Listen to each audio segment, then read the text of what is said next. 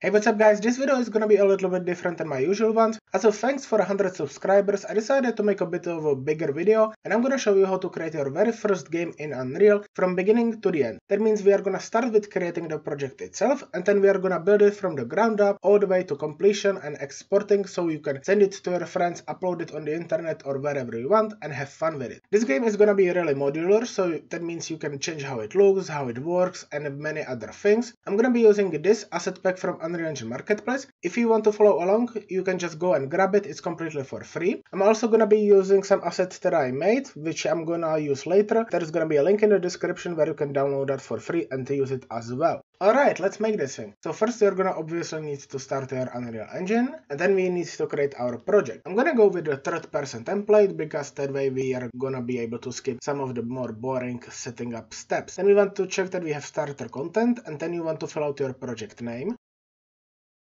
then just hit create. Once your project is open, open your Epic Games Launcher and we're gonna import our asset. So under Vault in the library, you want to just search for village. Then click add to project and find your project and click add to project and then it's gonna need a little bit of time to download. Once your assets are imported, we can open the project and actually start doing some work. So the first thing I want to do is I want to create some folders so we can stay organized. So right click, new folder and I'm gonna call this one blueprints. And then I'm gonna create another one and that's gonna be called levels. So now I want to create my levels. I'm gonna create two. So click on file, new level, and then in the basic and create. Once you are in the level, press Ctrl and S to save the level. Open the levels folder and this level is gonna be called game level. And then I want to create second level, so click on file, new level and basic again and create. And once you are there, Ctrl S again. And this one is gonna be called main menu level. And we can save this. Then we are gonna go into edit, project settings. Then under maps and modes on the left side, we want to slot in our level. So for the editor startup, I want to slot in our game level. And then under game default, we want to slot in our main menu. And this is gonna make it to where when we open the editor, when we open Unreal Engine with this project, we are gonna start in the game level. But once we export the game and somebody is gonna launch it, they're gonna start in the main menu level. And we are gonna do that later on in the video. Now, since we are already in the project settings, I want to add a collision channel. So under Engine, in collisions, there is these object channels and these are determining our collision. I want to add a new object channel and I'm gonna call this falling actor. And as a default response, I want to set it to overlap and then accept. And we can just close this. And we need to locate our player blueprint because we are going to be storing a lot of the logic and code inside it. So if you are using the third person template like me, go into third person, blueprints and third person character. Go into viewport and under skeletal mesh, we are to just select, click on it and select clear. And we are to also deselect the animation blueprint. So just select none. Then with the capsule component selected, we want to click on add and add static mesh. And I'm gonna call this character mesh. Then we are gonna get the camera boom and drag it to our camera mesh. With the camera boom selected, we want to change the socket offset. So we are gonna go to the z-axis and I'm gonna change it to 175. And you can obviously change it to whatever you want and adjust it to your game. Then we want to slot in our static mesh. So if you are using the same asset pack that I am using, I'm just gonna search for basket. You can select whichever one you want. I'm gonna go with this one and I'm just gonna scale it up a little bit so it's a little bigger and move it so it's fitting more inside the capsule. Then we're gonna select the capsule component and we want to change the half height to about 40. Then you can adjust the static mesh as much as you want, but I'm gonna leave it as is for now. Then once you are happy with that, we can go into the event graph. And here I'm gonna delete all of these nodes. You can leave the input for gamepad if you really want the gamepad controls, but I don't need them, so I'm just gonna delete them. Then this jump function we can delete as well because we don't want to be able to jump, or maybe you do, so you can leave it in if you want to. We can delete this top part because this is moving back and forth, and we don't want that. We only want to leave this part, which is gonna be our moving from side to side movement. Then we are gonna add two new variables. The first one is gonna be called health. We're gonna change its type to float. Then we're gonna add a second one and that's gonna be called points. We're gonna leave this as float as well. You can compile and save this. And I'm gonna set my health to 3, but you can set it to whatever you want, of course. And then we are gonna leave the points as 0. Compile this and save this again. Then we are gonna go into the content browser we're gonna go into our levels folder and then we're gonna open our game level. In here, I want to, from place actors, I want to drag in our player start. Then under details, I'm gonna reset the location, so it's 0, 0. And I'm just gonna move it a little bit above the ground, so that when we hit play now, as you can see, we are on the ground, and we can move from side to side, but we can jump or move back and forth. Then we can navigate into our blueprints folder, right click, blueprint class and actor, and I'm gonna call this BP zone. And we can open it. In here, I just want to add a box collision. Then in details, we want to scroll down and then instead of overlap all dynamic, we want to change it to custom. We want to click on ignore all and then we want to just change it so it overlaps falling actors. Then we can go into the event graph. Here from the event actor begin overlap, drag out from the other actor and search for destroy actor. And that's all we need to do here. So we can compile, save this and close this. Then we're gonna go into our game level, drag it in, then we want to make it cover our player area. So I'm just gonna scale it to let's say like this and like this. But this is gonna depend on how big of a player area you want. And then make sure it's more to the ground so it doesn't overlap right on top of our character. So maybe like this is just fine. Now since we are already working with the player area, we don't want player to be able to go out of bounds. So we are gonna go into the Fantastic Village pack, then meshes, props, and construction. And in here we have some fences so you can pick whichever one you like and then we can just drag it into our level. Then you can just use them to mark out the player area.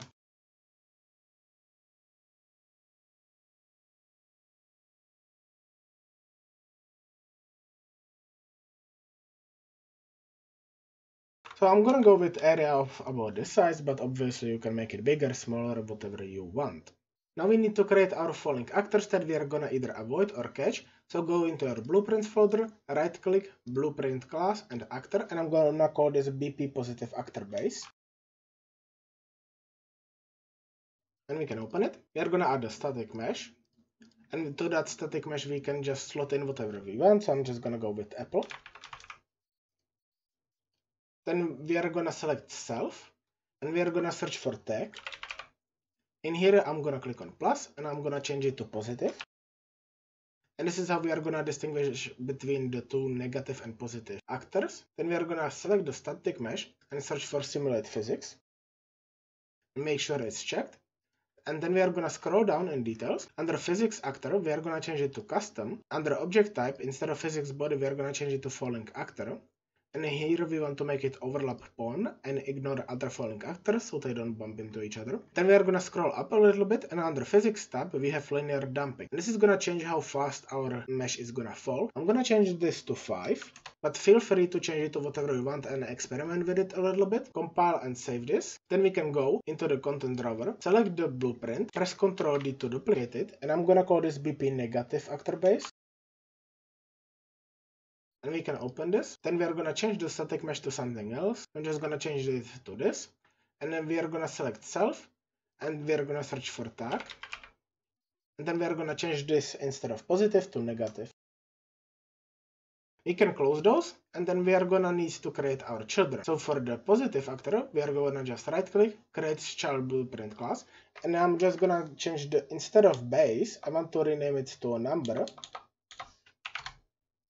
then I'm gonna do it again and you can create as many as you want. So I'm gonna have positive actor 1 through 3 and then I'm gonna just open all of these and we are just gonna change the static mesh to whatever you want.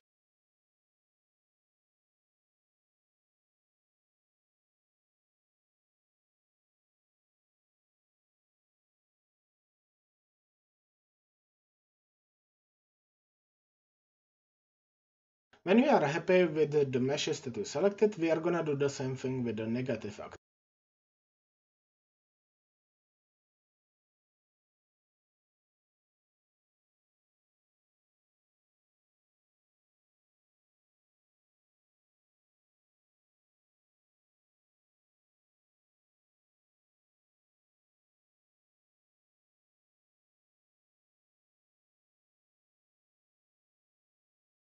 The reason why we are doing this is because when you have the base actor and it has all the settings and logic inside it, when we are creating a child actor of that, it's gonna inherit all that logic. So if at any point later on you want to change something about all the positive actors or all the negative actors for example, you can just do it in the base blueprint and it's gonna propagate to all its children. Now that we have our actors, we want to go into our player blueprint and actually do some interaction with them. So right click and search for actor begin overlap and we want to get the event, then drag from the event and search for branch. And then we're gonna need two more branches. So if you hold down B on your keyboard and left click, it's gonna automatically create branch. So create two more, then just plug them into each other like this. Then from the other actor, drag out and search for actor has tag. Control D to duplicate this node. Then we are just gonna plug it into these first two nodes. This one we are gonna search for positive. And in this one, we're gonna search for negative. Then we want to plug the other actor into this actor has tag as well. Then we want to get our points and then get them, drag from it and search for add. Then we want to get our points again, but this time set them, plug it into each other like this, and then plug through into it and in here I'm just gonna select one. And this is the amount of points we are gonna add to the player for each positive actor they've collected. So you can adjust it to whatever you want. I'm just gonna go with one. Drag from the other actor and search for destroy actor. And then plug it in. Then we want to get our health. Then we're gonna drag from it and search for subtract. Drag from the subtract and search for less or equal and we can plug that into the thread branch. And we can leave this as 0. And in here I'm gonna change it to 1. And then we want to get our health again, set it, plug it into false. And then we are gonna drag from the subtraction and drag it into our health. Then at the end here, I want to search for destroy actor. Then I'm gonna find some place here and I'm gonna right click and search for custom event. And I'm gonna call this player death. And we're gonna call this event whenever our player dies, whenever their health reaches zero. So I'm just gonna call this event right here and plug it into true. And then I'm just gonna plug it into the destroy. And then from health to destroy actor. And then I'm gonna get the other actor and plug it into the destroy actor and we can just move it down like this double click on the line to create points like this so we can just make it a bit more readable. So what does this code do? When we are overlapping an actor we are checking if it has a positive tag. If it does then we want to get arrow plus one point and then we are gonna destroy that actor. Then if it doesn't have then we are checking if it's negative. If it's not negative then we don't want to do anything. If it is negative though we want to check the current state of our health. So we are getting our health then we are subtracting one from it. Then we are checking if after that subtraction it's less or equal than 0, then if it's not, then we are just setting our health to that new value, and if it is, then we just want to call player death event. And we are gonna do that later, uh, but either way we want to also destroy that actor. So now that we have our actors and also way to overlap them and determine the outcome, we need to be able to spawn them. So going to our content drawer, right click, blueprint class and actor and I'm gonna call this BP spawner. Then we can open this. In here I just want to add a box collision. And this collision is just gonna help us know where it is in the level, but we don't have to worry about it at all. So we're gonna add a new function. So under functions, click on plus, and I'm gonna call this spawn actor.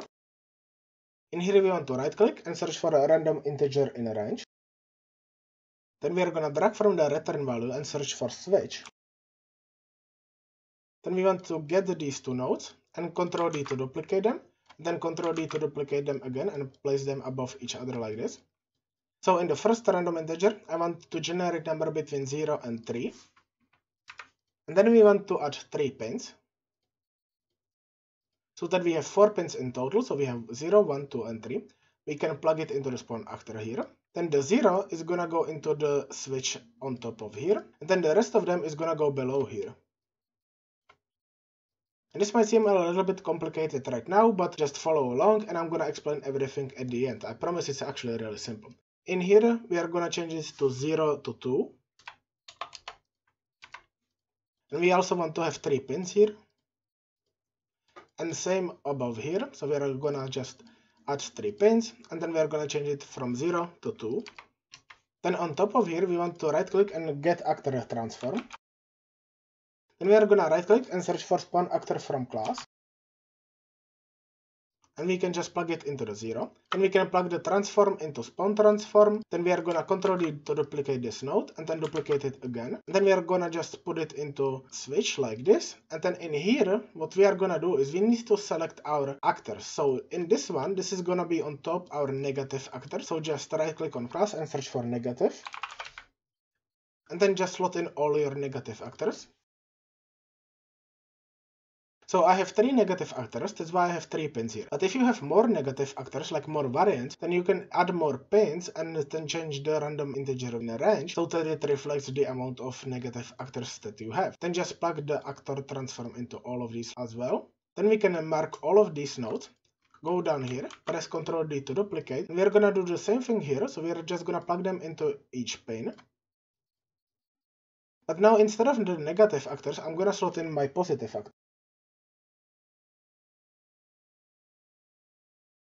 And that's all we need to do here. So how does this work? At the start, we are generating random value between 0 and 3, and then based on that outcome, we are putting it into switch. So the reason why we have 3 pins going down here and only one here is so that the probability comes up that if we have 4 pins and we are generating a random value, then we have 25% chance that the, the actor that we are gonna spawn is gonna be negative, and then 75% chance that it's gonna be positive. However, if you want to adjust these values, for example, you want to make it only 20%, then all you need to do is add another pin, adjust the value, and then plug that another pin in here. Then once we determine if it's gonna be positive or negative, if it's gonna be negative here, then we are generating number between 0 and 2 to determine the random actor that we are gonna spawn, that way there is gonna be more variety and the same thing applies here with the positive actors. Then we want to go into our event graph and actually call this function. So we can delete these two nodes and we are gonna only need event begin play. Hold down D on your keyboard and then left click to get delay. And then we want to search for a random float in range.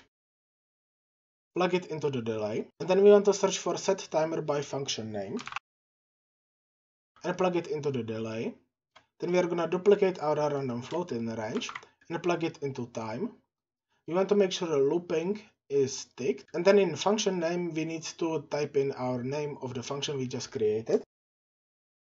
So for me, that was spawn actor. Then we need to set our value. So the first one is going to be 1 to 2.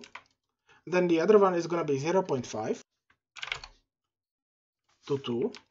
And what this does is that at the start of the game, which is when the event begin play is going to trigger, we want to wait at least one second so our game actually loads properly and then we are just randomly waiting for up to two seconds so that there's a little bit of a disparity between each actor spawned so that they are not all just in line. And then when we are setting the timer by function, this is just gonna keep triggering our actor over and over again. And then we are just adding some value here so that it's not gonna keep spawning instantly and it's not gonna spawn always at the same time. So that again, there is just not single line of actors falling. Then we need looping check so it keeps triggering over and over again. We can compile and save this and then we can close it. Now that we have our spawners, we want to put them in the world. So go into your map, drag the spawner in and place it somewhere above your player. So let's say we can place it like this and then you can move it to the side and duplicate it as many times as you want based on how many rows of actors falling you want. And you can also make them spaced out a little bit more, but beware that if you space them out too much, your player might be able to just stand in one spot and never get hit by anything. Okay, now that we have the actors and spawning and all that, we need to be able to track the current score that we have, and we also want the player to know how much health they have left. Open your content drawer, then in the content we can create a new folder called widgets and we can open this, right click, user interface and widget blueprint and then user widget and I'm gonna call this VB heart. And then I'm gonna create another one, so user interface, widget and user widget. And I'm gonna call this VB heart. we're gonna do the heart first. In here, I want to go into the palette and search for canvas and I want to drag it in. Then I'm gonna drag in image as well and I want to change its size so I'm gonna change it to 100 on y-axis. That way it's equal on all sides. Now I want to slot in my own image. You can obviously use your own image, but if you want to use the one that I'm using, I'm gonna leave a link in the description to where you can download this. Once you download it, you can just drag it into your content drawer like this. And then once you have it, you have to right click it, sprite actions and apply Paper2D texture settings. That way it's gonna fix the resolution on it. Then select your image, brush, open your content drawer and just slot it in. And then if you want to, you can also adjust the size of it again. I'm gonna move it somewhere to the corner like this, it's good enough. Compile and save this. Then we can close this. And then we want to open our HUD. In here I want to drag in our canvas panel.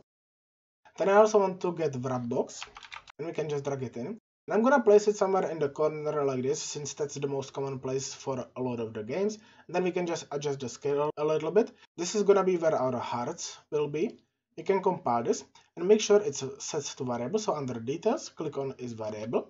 Then I want to drag in text and I'm gonna place it somewhere in the corner here. I'm gonna make it size to content. And then under font, I'm gonna change the size to let's say 90. That might be a bit too much, so I'm gonna change it to 60.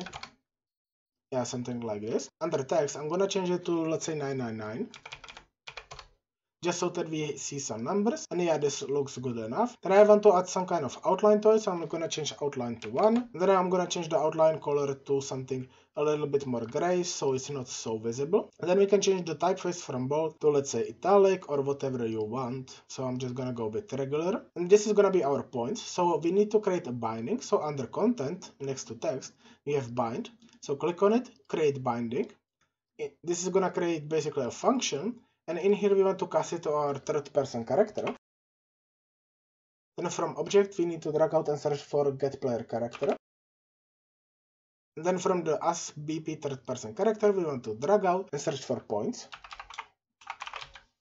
And we want to get them. And then we can just drag them in the return value and then it's gonna automatically convert it through this node to text and then we can just plug it in like this, compile this. Then we can take these two nodes, Control C, then go into the event graph, delete these two nodes because we are only gonna need event construct. And we can paste these two nodes in because we are gonna need them anyway.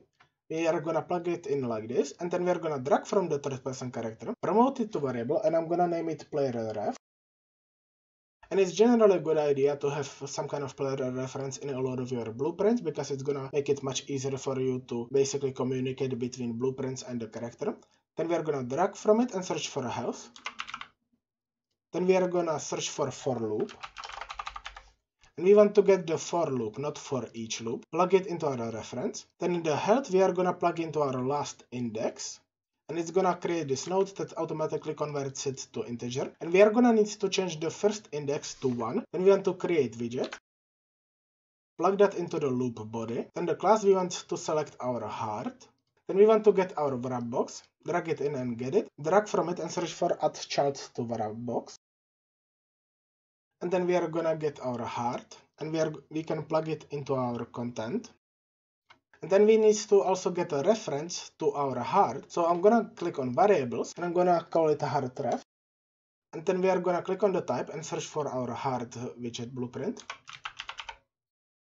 And we want object reference. But what we need to do here, we don't want just singular type, we need an array because there is going to be multiple hearts representing our heart. Next to the variable type, we are going to click on this icon and change it to array. And then we can drag it in, get it, drag from it and search for art. And then we can just plug it into each other. And then from the return value, we can also drag into the add.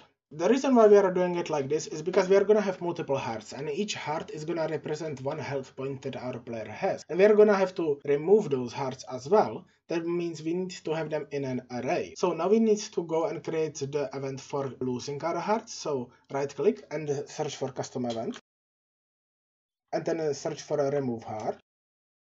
Now drag from it and search for each loop and this time we actually want the for each loop, not for loop. Get your heart ref, plug it into the array, then get a branch. Then from the array element, drag out and search for a remove from parent. And plug it into true. Then drag from the array element again and search for a remove. And we want the remove item. Plug it into the remove from parent. From heart ref, plug it into the remove as well. Then drag out from href again and search for length. Drag from here and search for minus or subtract. And we want to subtract 1. And then search for equal. And plug that into the branch. And then array index into bottom here. So what this does is basically whenever we call this event, which is gonna be when we lose some health, we are checking which heart widget is the last one in the row and we are gonna want to remove that. Otherwise we would just be removing a random one or like the first one and that would look weird. So once you have all of that, we can compile and save this. Now that we created our HUD, we also need to be able to see it. So go into your third person character, find some space and search for begin play. Drag from the begin play and search for create widget. Then slot in our HUD. Then from the return value drag out and promote it to variable. And I'm gonna call it the HUDref. And then you can drag from it and search for add to viewport. And we need add to viewport node, otherwise we wouldn't be able to see the HUD. Now we need to apply our removing heart function. So under here, we are gonna drag in our HUDref, drag from it and search for a remove heart. And I'm gonna drag it up here. And I'm gonna just plug both of these outcomes into the remove heart. And then I'm gonna plug remove heart into the destroy actor. Now that we can take damage, I also want to set up our player death event. So drag from it and search for a global time dilation. And this is gonna slow down time in our game. So 0 is gonna be no movement at all and then 1 is normal flow of time. I'm gonna set it to 0 but you can obviously just change it to whatever you want. Then we are gonna get our HUDref, drag from it and search for a remove from parent. Plug it into time dilation. This is gonna remove our HUD so we can no longer see it. Then we are gonna create widget. Plug it into the remove parent. Then we want to get our player controller drag from the return value and search for set show mouse. Plug it into create widget, then drag from the return value again and search for set input mode UI only. And plug it into the show mouse cursor. Then we want to drag from the return value and search for add to viewport. And then we want to make sure our show mouse cursor is checked. Now we need to actually create our widget for the create widget. So go into your widget folder, right click, user interface, visual blueprint, user widget, and I'm gonna call this VB dead screen. And then we can just slot it in. So we can compile and save and check if there's no errors. And just quickly what this does is we are stopping time, we are removing our HUD so we can no longer see it. And then we are spawning our death screen, which we are gonna make in a second. This allows us to show our mouse cursor, which is kinda important when you are interacting with UI, so that your player actually sees their mouse. And then we are setting the input mode to UI only, that way they can only move their mouse basically and interact with the UI. They can't move inside the game itself. So now we can open our death screen widget. In your death screen widget, we want to add canvas again. Drag it in. Then I want to get text and I'm gonna move it somewhere in the middle, anchor it to the top side, that way it's not gonna move from there. Reset the position and then we can align it on X to 0.5. That way it's exactly in the middle. And I'm gonna change the size to let's say 90. Then I'm gonna just change the alignment a little bit so it's down here. I'm gonna change this instead of text box to game over. Then I'm gonna duplicate this and I'm gonna change the alignment a little bit so it's below here. I'm gonna change the size to let's say 70. I'm gonna change the color to something like yellow, slightly orange, and I'm gonna change this to let's say 999. And this is gonna be our score. So I'm gonna change the alignment a little bit more. And then we need to create binding again. So go into bind, create binding, and then just like the last time, we are just gonna cast it to our third person character. Then drag from object and search for get player character. Then drag from the third person character and search for points. And plug it into the return value, plug it into the cast, compile and save this. Then we can go back into the designer. And this is now gonna show how much score we had at the end. Now I want to drag in a button, then text and put it into the button in the hierarchy. Then with the button selected, I want to make it size to content. And then we can just click on the text inside it and change it to let's say 48. And we can rename it to play again and then we want to change the name of that button so press F2 and I'm gonna change it to play again button now we can anchor it to the middle, change the alignment to 0.5 again, and you can just move it wherever you want. Then I'm gonna duplicate it, and I'm gonna rename this one to quit game. And I'm gonna move it below here, and then I'm gonna select the text inside it and change that. And you can obviously just customize our buttons, make them look different. They have a bunch of different functions. Then we're gonna go into our event graph. We can close this function, go into the event graph itself. Then under variables, we have these two buttons. So click on it. And then under details, we can get on clicked event and do that for both of the buttons. So for the quit game button, it's real simple. We are just gonna drag in and search for quit game. And with this, the game is just gonna close, but you can also make it to where it's gonna be sent into the background if you want to. And then from play again button, I'm gonna drag out and I'm gonna search open level. We want to do it by name. Here we are gonna fill in our game level. Then we can go into the third person character, copy these two nodes, go back, paste them in, and then from the get player controller, drag out and search for a game input only and plug it into the show mouse cursor and then set the show mouse cursor to false. So what this does is it's gonna launch our game level again and then we are also making sure that the input mode is for the game only and we can see our mouse anymore. And then just as a good measure we can right click and search for the remove from parent and just leave it as self and plug it in. We can compile and save this. So now that we have basically our gameplay loop done and we also have the dead screen, let's add some quality of life features such as pause menu. So that one is real simple. We are gonna get our dead screen widget blueprint here, press Ctrl D to duplicate it and rename it to pause menu. And we can open this. Then in our third person character, we are gonna keybind this to let's say escape. And we are gonna create a new variable called pause and we'll change the type to boolean. And we are gonna get branch plug it into the escape and then we are gonna get our post and plug it into the branch. And we are gonna create a custom event and call it open pause menu. And we are gonna create another custom event. And this one is gonna be close pause menu. And then in here we are just gonna call these two events we can just plug them into each other like this. So what this does is when we press escape, it's gonna check if we are paused or not. And if we are, then it's gonna close the pause menu. And if it's not, then we are gonna open the pause menu. So we can move this a little bit up here. Then we are gonna set our post variable. Then we can duplicate it and set it again. In the open pause menu, we want to set it to true. In the close pause menu, we want to set it to false. Then we are gonna create widget plug it into the pause. We are going to slot in our pause menu. We are going to drag from the return value, promote it to variable, and call it pause menu ref. Then we are going to drag from it and search for add to viewport. And then just like last time, we are going to get these two nodes so we don't have to waste too much time. Copy them in here. And so what this does is we are basically just again setting the input mode to UI only because now we are in the UI, we are showing the mouse cursor. And then we also want to add time dilation, that way the game doesn't go on. And I'm just gonna set this to zero. Then in here, basically what we want to do is we are gonna get the time dilation again, so just copy paste it here. This time I'm gonna set it to 1 because now we are starting the game again. I'm gonna get the pause menu ref here I'm gonna search for is valid. Then we're gonna drag from it again and search for remove from parent. And plug it into is valid. Then we're gonna get these two nodes, duplicate them, put them down here, set show mouse cursor to false. From get player controller, search for game input only. And plug it in. And basically we are just reversing everything that we did in the pause menu. And now we can just select all of these nodes, press C to comment and we can just comment it as pause logic. And we can encapsulate this top part with escape as well if we want to. And then we can just move the whole thing to side. So now we can compile and save this.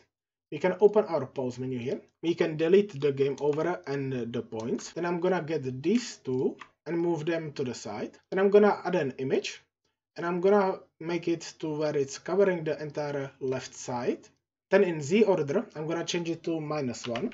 That way it's all the way to background. In color and opacity, I'm gonna change it to black and I'm gonna change the opacity to 0.3. That way it's just a gray backdrop and we can just scale it down so it's only around the buttons. And if you want to, we can go into our dead screen, we can get the image and do the same thing here. This way we are always gonna have some kind of grayish see-through backdrop for our menus. And we can close the dead screen. In here we are gonna rearrange the buttons. So instead of play again, I'm gonna rename it to resume button.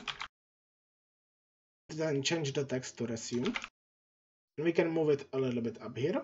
And we can leave the quit game as is. And I'm just gonna duplicate the resume button, move it below the actual resume. And I'm gonna rename it to restart then change the text to restart as well. And you can obviously add as many buttons and options and like that as you want. So then we are gonna go into the event graph and we are gonna break the link from the resume button. We are gonna get a restart button OnClicked event and we are gonna plug it into our open level so basically this is gonna do the exact same thing as launching the level it's gonna restart the level basically and then we can leave the quit game button as well and then from the resume button we are simply just gonna call the third person events that we created the close pause menu. So we are just gonna cast it to our third person character. Drag from object and search for a get player character. Then we are just gonna drag from the third person character and search for that event. And that's the whole pause menu basically done. Now something to note here, we can't really go into play and test it out because if you are just gonna go into the play like this and then press escape, it's gonna close it. So if you want to test it out right now, you would have to click on these three dots and then instead of selected viewport, make it play in the standalone game. I'm not gonna do it right now because it kinda lags out my PC, but it's an option if you want it. Now that we have pause menu, we are just gonna create our main menu and then we can move on just to do some finishing touches. But I just realized there is this game mode blueprint here that you didn't see me create and that's because I'm probably gonna cut it out from the video because I just realized it's actually completely useless so I'm just gonna delete this. So just so that we are clear, this one you can just ignore the blueprint because you're gonna see it probably throughout the video. Okay, so with that done, we are gonna go into the levels and then I'm gonna open our main menu level. In here, I want to open our place actors window. If you don't have it, you can click on window and then trigger it right here and it's gonna open that window. I'm gonna search for a camera and I want the camera actor, drag it in.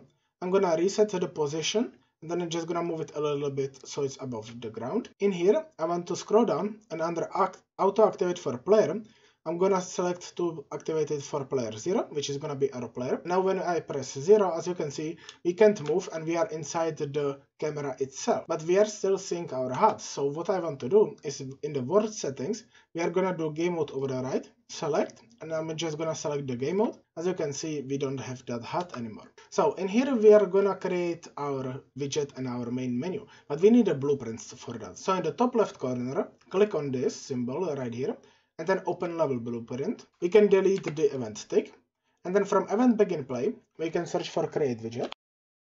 Drag from the return value and add it to viewport.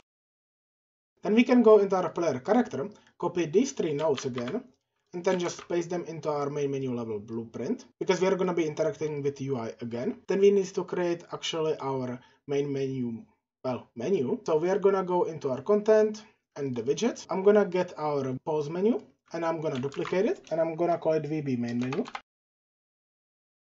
Then we can just select the class and then select the main menu. Then we can open our main menu widget. So in here we just need to change some buttons. So resume button, I'm gonna rename it to play game button. Then the text inside it, I'm gonna change to play or play game. Then the restart button we can just delete. And then the quit game button, we can leave it as is, like this, and then just move it up here. Now obviously you can also add some settings. If you need settings, I'm not gonna do them in this video, but there is a video on my channel where I go over how to do graphic settings and all that. So once you have that, compile, we are gonna go into our event graph. As you can see, we have this warning here because we don't have the button anymore. So we can delete this. We can delete these nodes because this is to be play game button and not close menu button. And we can just move it down here and plug it into the open level since this is already starting the level.